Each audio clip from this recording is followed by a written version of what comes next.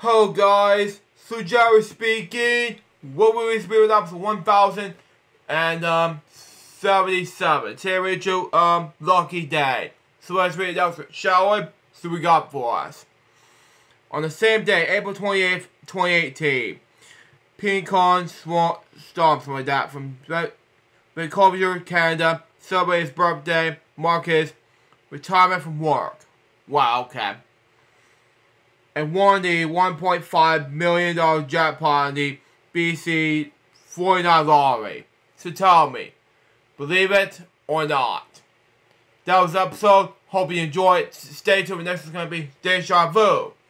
Till next time, that was one baby. Good boy episode. Say out. See ya.